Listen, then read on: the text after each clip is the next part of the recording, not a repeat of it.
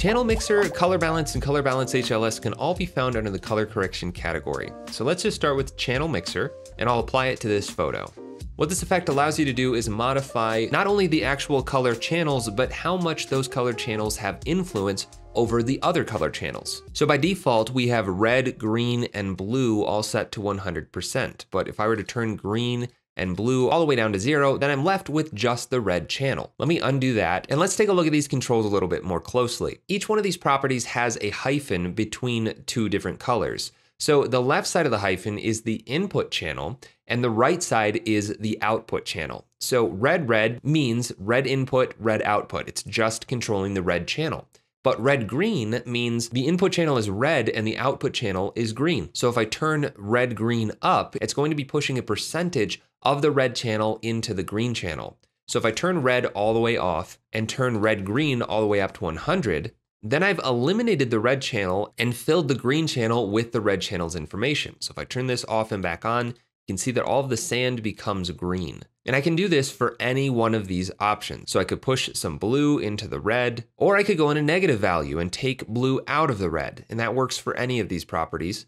Now, in addition to all of these input and output controls, we also have red constant, green constant, and blue constant. So I'm actually going to reset this effect and just show you if I turn up red constant, it's basically going to increase the saturation of the red channel overall. Same thing for green constant or blue constant, and I could go in a negative direction as well. And then finally, we have this monochrome checkbox. So let me reset this one more time and turn that on. You see that it just becomes a grayscale image. With that checked, the green and blue controls do nothing. I can't change anything about the image with these controls anymore. It's just using the red channel controls to modify the output of this grayscale image. So I could use the red green to increase the green channel's influence over the image. I could bring up the blue a little bit and increase or decrease the overall brightness using the red constant property. But that's it for the channel mixer effect. I'm gonna delete that and we'll move on to color balance. If I apply that to this picture, then we have three sets of controls for shadows, midtones, and highlights, and red, green, and blue controls for each one of them. So if I grab the shadow blue balance and turn that up, then I'm going to see more blue introduced into the shadows. And if I grab the highlight green balance and turn that up, then all of the highlights of this image are gonna turn a lot more green. Now that did make a pretty big difference to the overall brightness of my image, but if I check on the preserve luminosity checkbox, it's going to attempt to preserve that original luminosity. And this does introduce a lot of contrast, but it's doing its best to keep that overall luminosity with that checkbox checked.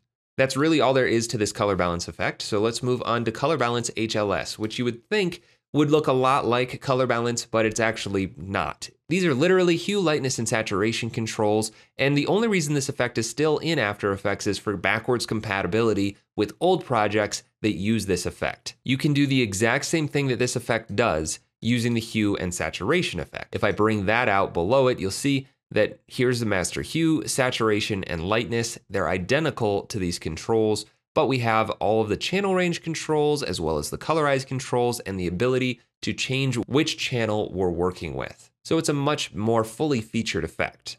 But that's all you need to know about Channel Mixer, Color Balance, and Color Balance HLS. Hey, thanks for watching. If you enjoyed this tutorial, then check out the other ones here on my YouTube channel. And if you like my teaching style, then definitely check out my longer form content on Skillshare and School of Motion. And if you want to support more tutorials like this one, check out my Patreon. You can find links for all of that stuff in the description of this video.